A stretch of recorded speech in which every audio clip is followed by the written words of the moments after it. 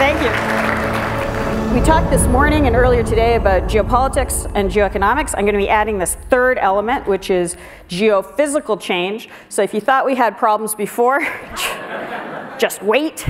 Um, the reason uh, geophysical change is an issue is because as humans, uh, we tend to build into the environment that's already there. So I'm not quite sure how this works. Where do I point it?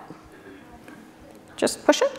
Okay, so if you look at defense installations from different locations built at different times in different parts of the world, you'll see they look basically the same. If you want to defend your location, you want a high vantage point overlooking a large plain. Uh, you want a water supply because if you don't have a water supply, then it's a death trap. So what you end up seeing is forts on mountaintops. You often end up with religious installations there in case your war doesn't go so well. You'll have both. um, but we build into the environment that is already there. So understanding that is key to understanding the problems we're going to be having going forward. And you know that very well here. This is Camden in 1855. Camden, Camden is a, a physical gift to humanity. You have the mountain. yeah. You have the mountain overlooking the harbor. You have this incredible river that can provide fresh water, can provide power, can provide the power for the mills, which creates the economic activity. Um, so apart from simply being beautiful, it's incredibly useful as a location. It was inevitable, given the topography of the region, that Camden would become Camden. And you know, the sailing's pretty good too. This sort of building into the geography that you have around you is part of the way we as humanity develop, expand, and provide economic activity. We have a real problem, for example, with where to build airports. Airports require a large amount of flat land. So that means usually they're either in a, in a river valley or they're on the coast. These are uh, uh, Hong Kong Airport and LaGuardia Airport. If you're concerned about environmental change in any way, this, this is not a good thing. And the result is when you look at airports around the world, they're turning more into ports than airports. They're flooding all over the place. This is a, a real logistical problem. I, I, work a lot more in the sort of defense and security side. And while this is true on the civilian side, on the defense and security side, we also have a lot of installations in very, very bad locations. So just last month, uh, the uh, DoD put out uh, a little report of climate change impacts, potential climate change impacts on military installations around the United States. Um, th these are, every dot here is a US military installation that has already reported problems from flooding, extreme temperatures, wind, drought, wildfire. And we see what that means on the ground. You know, this is report just said, half of US military sites are vulnerable to climate change, and these are examples of installations that have flooded. And if the installation has flooded, that means it's in a location that's already having problems. So uh, the homestead, for example, uh, was destroyed by a hurricane in Florida. The resources that would have gone from that base to help the local community ended up being sucked up by that base in order to secure the personnel and the facilities and the equipment. The same thing with Keesler. Keesler was right next to New Orleans and it was hit by Katrina. They had to scramble the planes, they had to evacuate the personnel. So not only do they become not a net security provider, they become a security sink. We're seeing this uh, all over the US, but increasingly all over the world. This new factor of including environmental change or geophysical change is uh, forcing a reevaluation of how you do strategic analysis, which is what I do. But it's very important to bear in mind that this isn't just climate change. So every red line here is a hurricane track that's hit the US Gulf Coast in the last, well, until, about, until Katrina. You build in a hurricane track you're going to be hit by a hurricane at some point, right? New Orleans was hit by Katrina at about uh, a three. It wasn't a huge hurricane, it wasn't a surprise. But New Orleans had engineered itself in a way to become increasingly vulnerable. It had pumped out groundwater, it had built bad levees, it had built on floodplains, and so it created a vulnerability that wasn't there before, and even without climate change, it would be a problem. So, if you're doing a strategic analysis, which, which is what I'm supposed to do, um, I now try to look at geopolitical, geoeconomic, and geophysical change to make sure I'm not missing anything. Might not be a factor, but if it is a factor, I want to know. We missed a very, very big one by uh, not looking at geophysical change when it came to this. Who knows what, what this is? Yep. It's the first Chinese ship to circumvent the northern part. Yeah, it's China's first icebreaker, ice strengthened ship. And in the strategic community, I mean, in, including in Canada, 20 years ago, if you'd asked if China was going to be a proto-Arctic power, it's now declared an Arctic silk route. I didn't know there were a lot of silkworms up in the Arctic. Um, you know, you, you would not have potentially been taken seriously. But if you look at China geopolitically, which is uh, sort of it's, it's going out and has been going out for 20 years, uh, economically, it can certainly afford shipbuilding and it's looking at securing, using its navy to secure shipping routes. And the geophysical change in the Arctic, it's almost inevitable that China would end up looking at the Arctic very aggressively. So including that component, for me, has been very helpful. Now the question is, what does that mean? Okay? And that has to do a little bit with your perceptions, and uh, Evan spoke about this this morning uh, very eloquently about how perceptions can, uh, can influence behavior. Um, uh, we call these these geopolitical articles of faith. The, the acronym is GAF, because we all make these gaffes, all make these mistakes. And the basic premise is we might all have the same strategy securing our borders, healthy economy, that sort of stuff. Or if you're a Buddhist and Anglican and Catholic, it might be a good life and an even better life after death. But if you ask the Buddhist, that might mean being a vegetarian. If you ask the Catholic, that might mean no fish on Friday. If you ask the Anglican, that might mean gefilte fish, or I don't know, I'm not good on theology. uh, but the basic premise is you know, based on the way you look at the world and what your assumptions are, it's going to affect your analysis, which is going to affect your behavior. And we have some very big questions, again, many of which were brought up this morning, which, depending on where you are on the spectrum, your analysis is going to, is to change. And one of the biggest ones is, will China's economy grow, stagnate, or contract by 2022? Now, I picked 2022 because the current leadership, barring a comet strike, is likely going to be empowered till 2022. So their vector is, is pretty set. Um, but we don't know, as again was brought up this morning, whether their economy will continue its growth rate. So just by applause, who think China's economy might contract by 2022? Who thinks it will the rate will stay the same or grow between now and 2022. Okay. So, so the, the second hand clappers, you agree with the Australian strategic community. Okay? So the Australian strategic community decided, uh, and not all of them, a, a, lot of the, especially defense and intelligence community is very concerned about China, but the uh, particularly political and business community has made this decision that China's economy will continue to grow and that Australia needs to ride the dragon, and it's had definite strategic consequences.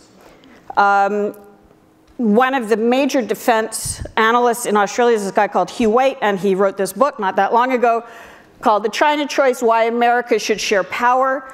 It was a, a discussion about how the US and China should share the Pacific. He was not uh, specific about who should get the Philippines or Vietnam or Japan or any of our other allies, um, but he was pretty uh, clear that uh, China was going to continue to grow, and from an Australian perspective, it may be more of an Asian country than a part of the West. We've had several Australian prime ministers come out and say things similar to Australia should cut the tag with American foreign policy. He used Trump as an excuse, but he was already pushing this line beforehand. This is uh, a real problem for, for us. Uh, for uh, one of the reasons that Avril mentioned earlier in terms of the importance of multilateral institutions, Australia is a Five Eyes intelligence sharing partner with the West. Australia isn't just Australia from a defense and security perspective. It, it is a key component of the way that we interact with the Pacific and with Indonesia and with very large tracts of that zone. So our multilateral agreement in that case has been extremely helpful for us for 50, 60 years. But if Australia starts to weaken, we have a problem. And the Chinese are very happy for us to have a problem. And so they've been looking at ways of accelerating that. Uh, the Australian political system allows overt foreign donations to political candidates. Um, so a uh, Chinese government official can come up and give a suitcase full of cash to an Australian politician and it's legal. Um, the Australian Attorney General made a little visit to DC a few months ago where the Americans said, maybe that's not such a great idea. So they may be rewriting the law. But we need to start to rethink how these changing dynamics that we talked about this morning can be cascading through very large and very important defense and security architecture. We are seeing it affect positioning already. Australia gave the US a bit of a hard time about stationing 1,500 troops in Darwin, which is on the north, north coast of Australia. It then leased the entire port of Darwin to a Chinese government company. That port is right next to where the Americans are stationed. This, this ambiguity in positioning is extremely problematic and it's based on the assumption in a large section of the Australian community that China's economy will continue to grow. So it's always worth, in, in, many of our discussions today and in moving forward, going back to those starting premises to make sure you really feel confident about them. If you do, great. If not, it's worthwhile having several pathways to look at what that means. Another one that's a really big question now is will the US militarily defend Indo-Pacific allies in a time of crisis? Again, this is something that was uh, talked about, uh, again, actually in Avril's presentation, about this incrementalism and uh, where do you cross the line in order to respond. So the Chinese have been building the islands, they've been militarizing the islands, they've been pushing boats into Japanese waters, they've been testing the limits of the US. At what point does the US respond, if it responds? Now, there are a lot of countries in the region that have concerns about whether the US will respond. Another Australian, uh, another Australian prime, former prime minister has overtly said that America will not protect us. Now, what that's what's that meant is, and this is something Evan brought up, is that you're starting to see much more of a push towards diversification of defense um, relationships uh, which is where this Indo-Pacific concept is coming up. And it's worth taking a look at what the Indo-Pacific actually is. This is a map that I find particularly useful. So um, if you use this map, because we, we're used to Eurocentric maps, right? Where the, where the Pacific is cut off at the edges and it's way off on the far sides. It's literally at the edge of our strategic map when we use that map. When you use this map, you can see that the economies, the growing economies of India, China, the potentially strong economies of South America, that still and will be for a long time, American economy is very strong. The increasing access potentially through the Bering Strait, this zone is highly active. If the 20th century was the Atlantic century, it's very likely the 21st century is the Indo-Pacific century. So what does that mean if you think, if your gaffe is that the US may not be your sole security provider. What you're, what you're starting to see is more push towards things like um, uh, a broader security uh, construct, which the Australians call the Indo-Pacific, and the Japanese tend to call the security diamond.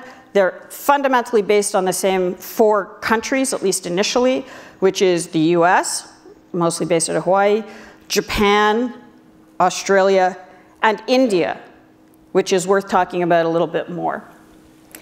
Parts of that triangle have much stronger bilateral relationships, which are happening quickly and quietly. For example, this is just announced not that long ago. Um, this is from an Indian newspaper. A lakh is 100,000. So Japan is paying for 300,000 young Indians to go and spend three to five years in Japan. That's, that's strategic right? They want 300,000 Japanese speaking Indians, because I guess they don't think 300,000 Japanese are going to learn Hindi. Uh, so they're bringing them over and they're trying to create a bridge, um, which, upon, and this is mostly for tech training, upon which they can build a stronger strategic alliance. Similarly, and, and again, this is why India is so important, especially even to the Japanese, India is the only country specific cell within the Pentagon. This is to speed up defense cooperation, sales, interoperability. Right, so this Indian component of the Indo-Pacific is incredibly important to uh, creating another architecture if, again, you're not sure the US alone will defend you, but you want to facilitate US allies in order to create a, a strategic zone that is much more favorable. I was in uh, Delhi last month for the Raisina dialogue. This was the quad on stage in Delhi last month. These are uh, top naval commanders from Japan, that's the Chief of Staff, Japan, Vice Admiral Barrett from um, Australia, um, uh, Admiral Lanba from India, and of course Harris from uh, US PACOM. Harris has just been appointed as the next US ambassador to Australia. This, and, and interestingly, for quad watchers, uh, the Indians made sure to put an Indonesian on stage because there's a move to try to make it a quad plus three where you include Indonesia, Vietnam, and the Philippines. So it, you know, who knows what's going to stick, who knows what's not going to stick, but it's moving. Okay? Now, what does this mean for our geophysical stuff? Okay, let's throw in this new element. We just talked about geopolitics and geoeconomics. What about our third geo? Part of the problem with our third geo is just like our physical infrastructure, just like our airports assume that the environment we built into won't change, our legal infrastructure assumes that the environment it governs will not change. And that's true with the UN Convention on the Law of the Sea. Very useful document. It has some flaws. This is one of them. If you have a very boring rectangular country, you get 200 nautical miles off your coastline. If it floods and retreats, it's unclear whether your coastline will retreat along with it. Similarly, if you have an island off your coast, in this case, country A has island A, it can deviate into B. If that island disappears, what happens to that border? Okay, so we have a situation now where we're talking about entire islands disappearing, potentially. So if you have this island, it can claim a 200 nautical mile exclusive economic zone around it, which is why you're seeing this sort of thing. Not very unfortunate Chinese soldiers who did something naughty, but they are uh, potentially claiming 200 nautical miles around that rock, okay, island for China. Okay?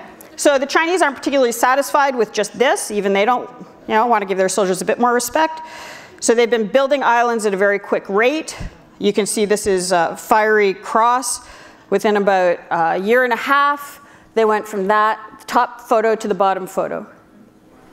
That is, to my mind, because of my gaffes, clearly a defense installation.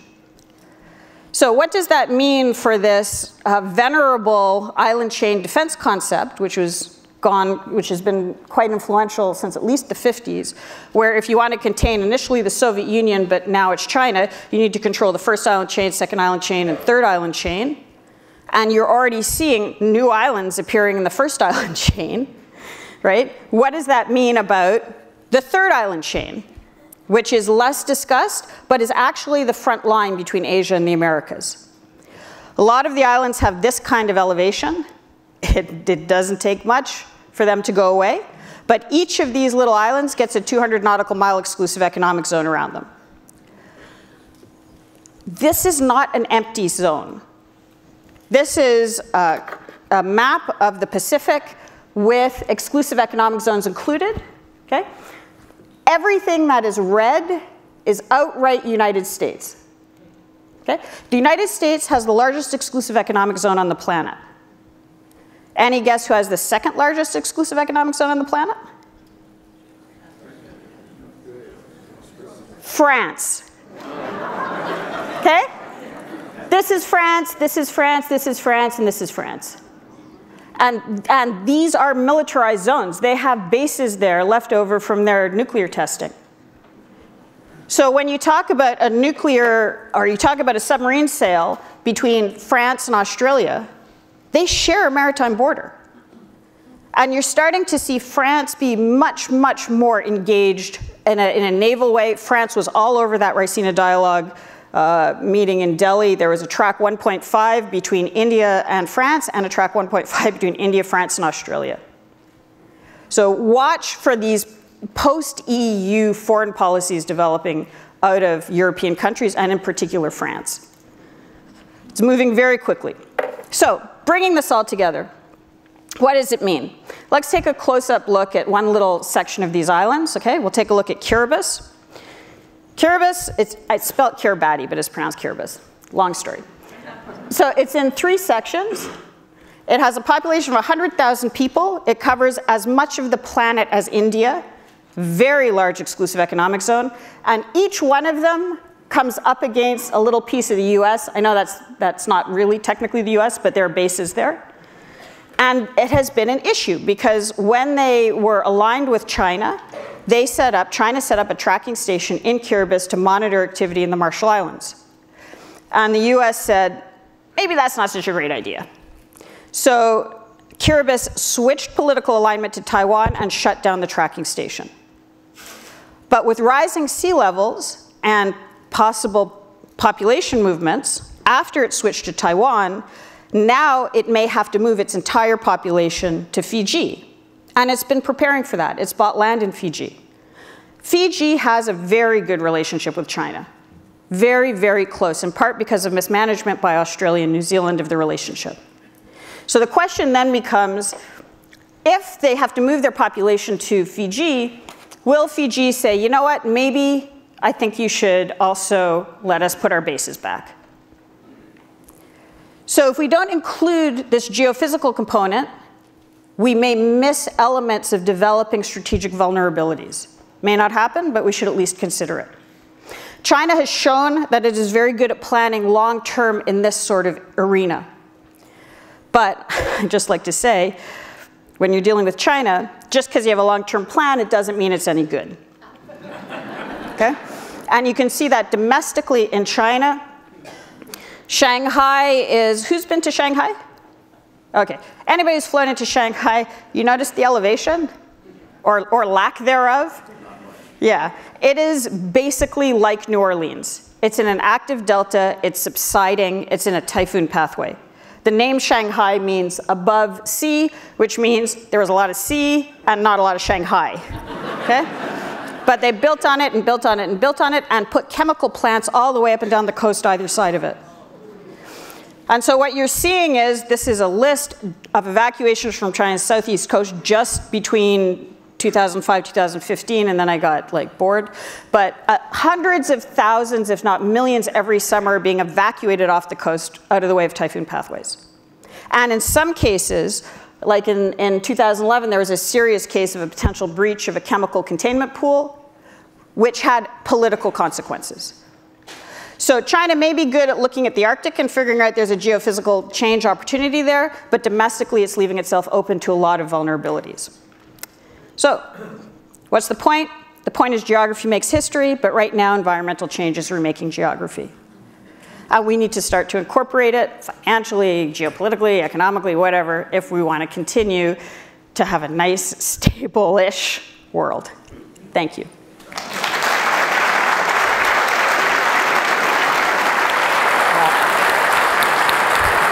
Thank you. That's great.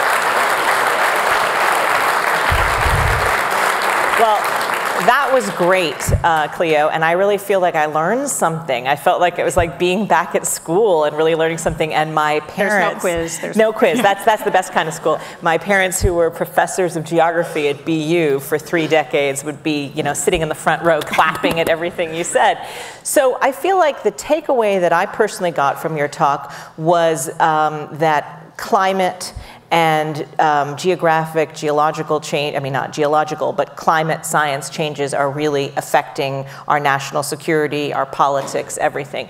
So, with that in mind, um, given that we're, we've made an announcement to withdraw from the Paris Treaty, um, is that it? Are we all sunk now? We're dead? Or is there a way to sort of claw back from that and do something that will, you know, literally save our planet? Because what you put up there was pretty disturbing in many ways you know, lack of not only if places get flooded and water levels rise and entire islands or cities disappear and chemical plants get breached. You get the picture, guys. Pretty depressing stuff. Yeah. Um, and water shortages, all sorts of things. So, how can we claw back from the position we're in now? Uh, so there are a lot of environmental change impacts, obviously, um, and um, uh, the uh, withdrawing from the climate agreement doesn't necessarily mean uh, a, that uh, ultimate emissions are going to change, or that B, emissions is going to be a determining factor in a lot of the other things that I spoke about, just because of what's the inertia that's built into the climate change system, but also because of these other environmental change factors.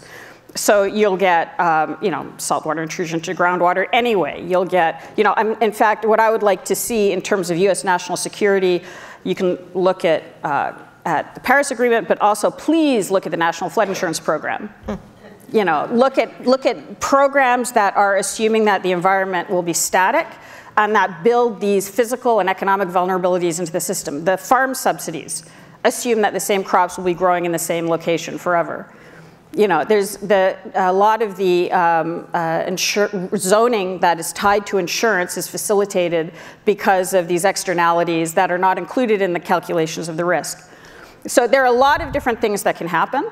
And uh, part of it is figuring out in your own sector, your own area, it's much like we heard about in politics before, uh, figuring out what, what you can do to make sure that you've included it to uh, be an agent of uh, resilience in a time of vulnerability and variability, as opposed to um, going for something that may not be realistic right now and losing sight of the fact that there's a lot we can just do on a daily basis to make sure that our house isn't going to flood, you know, our water will be drinkable, that sort of stuff.